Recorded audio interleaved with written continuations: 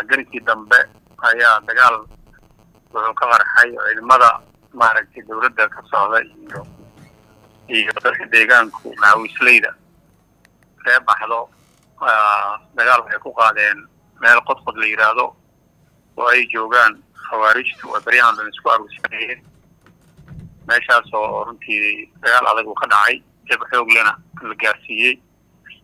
Goobtiina alxamdulilahi rabbilcaalamiin ay ku hareen deegaanka marka hore ciidanka dowladda ay ku sugnaayeen oo ay maanta howlgalka ka qaadeen iyo deegaanka la tegey inta kilomitr bay isu jiraan? Waxay isku jiraan waxay ciidamadu maanta dulaan ka qaadeen magaalo la yihahda xilnadi qodqodna waxay isu jiraan sagaal iyo toban kilomitr waa gartay. Camaarana camaarana waxay u jirtaa meeshaas koob iyo toban kilomitr waa gartay. Marka wax khasaare ah iyo wax dagaalo ah oo aada la kulanteen ma jiraan? Dabcan dagaal qaraar mar hadduu dhaco waa khasaare waa qasab dhinac maaragtay laakiin annaga dhinacayna waxaa naga shahiiday saddex qofood. Dhaawaceynuna wuxuu ahaa afar laakiin jab xoog lahaa nimankaas maantay. Khawaarijta meesha ku soo gaaray wararka aan helaynaa ilaa toddobaatameeyo dhaa maaragtay dhimasho ah inay gaarsiiyeen aad iyo camaara ayaan maaragtay arboodyada ku helaynaa. Qaarna waa ka cararayn. Oo meeshii yaalaan ilaa sideed meeshay uga tageen. Way qaado waayeen. Marka waana qaarna ayagaa qaatay. Sideeddiina dabcan waana la soo sawiray waana waana ka daawan doontaan insha allahu tacaala maaragtay t v-ga qaranka oo ciidamada la socday waxaad ii sheegtaa mar haddii dagaal u dhaco khasaara dhacayaa tiri wax kooxda shabaab wararka qaar waxaa meelaha qaar lagu qorayaa in gaadiid iyo hub laga qabtay. Arrintaa iyada ah ma noo xaqiijin karaysaa maadaama aad la socoto adiga? Ha haye. Baabuur badan oo waxaa jirtay runtii laga gubay allaa afar gaari waa laga gubay.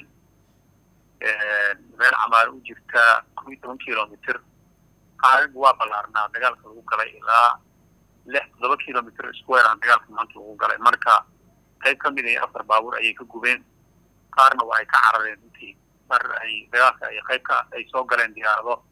Hawada maaragtay ciidanka saboorti garaynayay ayay nafsadooda uga carareen.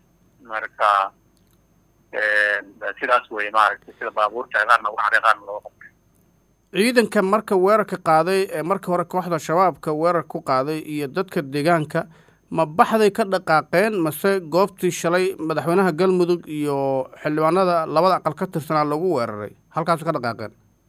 Maya maya isku deegaanba ma ahanba meeshii madaxweynaha lagu weeraray iyo meeshaan shaqada isku malahanba ciidamadaani waxay ka soo baxeen baxdo asbuuc ka horay ma soo baxeen oo meeshaan ay yimaadeen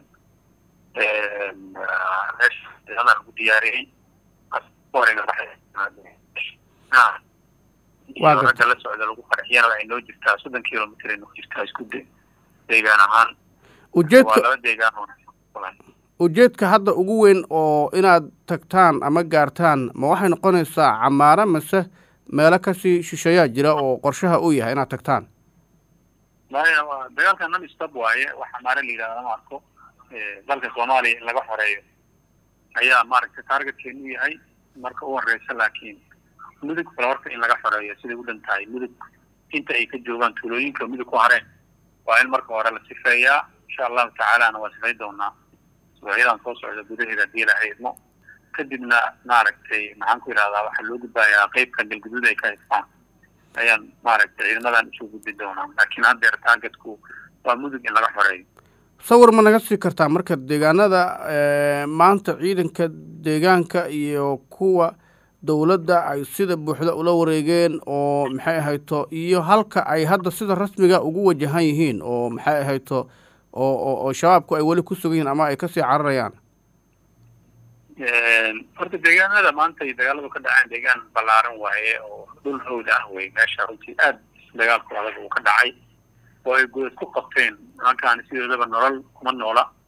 Godad ay dhulka hoostiisa ka qotaan xafaayada u xiran kama soo baxaan marka beryahan oo dhan waardiya kor laga hayay markay soo bixi waayeenna maanta waxaa lagu qasbanaaday in godadkoodii loogu galo. Ilaahay maaragtay isaga xamdiga iskale ilahan ku xamdinaynaa ee naguna guuleeyey in godadkiina laga soo saaro dhibaato xooglana loo gaarsiisto. Marka dhulku dhul ballaaran oo dee tuulooyin yar yar dhulkan tuulada magaceeda iyo waa aada u tiro badan yihiin areada maaragtay dagaalku maanta intii uu ka dhacay san kugu sheega markii hore ilaa toddoba kilomitr sideed kilomitr square ah ayaa ciidamada dagaalku kala galeen ayaguna ay duulaanka markii dambe ay gurmadkoodii ay ka soo gelayeen marka marka dhulkan dhul saasa waaye tuulooyin badan oo isku wada dhadhow oo aan maaragtay kala fogfogeyn oo isku jir jira shan shan kilomitr iyo saddex saddex kilomitr iyo laakiin meesha ay ku dhuulma maaragtay ku dhumay waayahan oo dhan ba ay ku dhumanayeen waxay ahayd dhul hawd ah. Oo qodqod tuuladaas la yidhaahdo qodqod meeshaas la yidhaahdo maaragtay xildhibi iyo maarsa mugge iyo qodqod waxaa la sheegay inay shabaabku dadku ka soo weerari jireen ama ka soo dhibaatay jireen dadkii ku noolaa ma aragteen?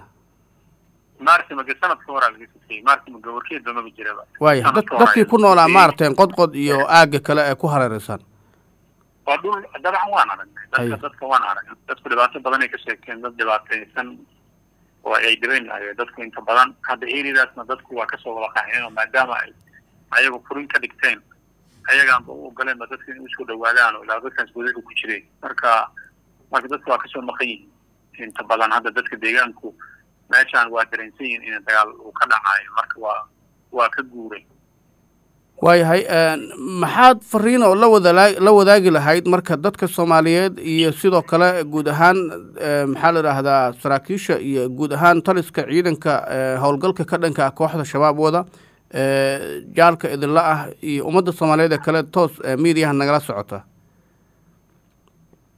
Waa mahadsan tahay okay marka dabcan waxaan diraynaa fariin ah insha allahu tacaala waxaan u baahan nahay ciidamada dadka soomaaliyeed inay ciidamada taageeraan garab ay siiyaan nin walbaaba wixii uu awoodo nin walbaaba wixii uu awoodo runtii dee uu geliyo ninkii duco awooda ninkii taakulayn kale maaragtay awooda ninkii dagaalka soo qeybgeli kara oo qeyb ka noqon kara maaragtay guushaas maaragtay soomaali maxamed ayay u soo hoyanaysaa iyo qaranka soomaaliyeed.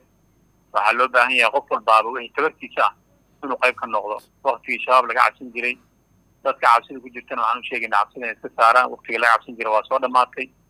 Waktigaani waa gabangabay nimankaana yihiin. Marka waa naflacaari runtii ay u soo aruurtay inay maaragtay baabuur qarax ay soo buuxiyaan hadda ciidan. Ciidamada qaranka iyo macawisayda hor istaagi karaa runtii ma jiraan. Marka niman aada naflacaari ah weeye insha allahu tacaalana waxaan kula dardaarmayna ummadda soomaaliya inay wada istaagaan. Oo meel walba looga bilaabo runtii oo layska xilqaamo oo qolo walbaaba iyo deegaan walbaaba ay abaabulkooda galaan. Insha allah intaasaan kula dardaarmayna insha allah